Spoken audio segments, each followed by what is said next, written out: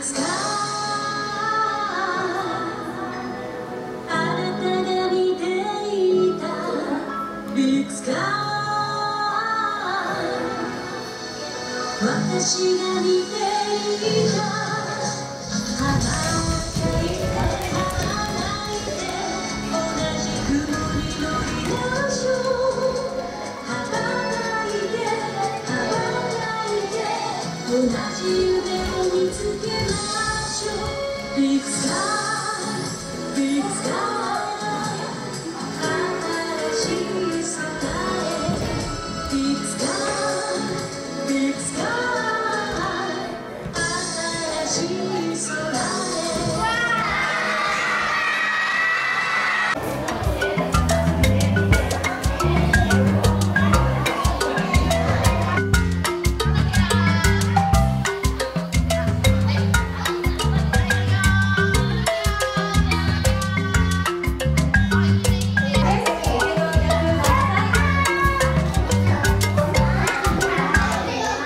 今日の踊りはどのぐらい練習しましたか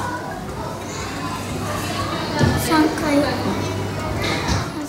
時丸のことは前から知ってましたか、今日初めて見た。時丸初めて会ってどんな感じだった？可愛かった。今日踊りどうだった？上手に踊れました？何点だったバッチリ？難しくなかったですか？好きなポーズとかなんかそういうのってある？あの時丸の踊りで。一番最初のポーズの時があの好どんな感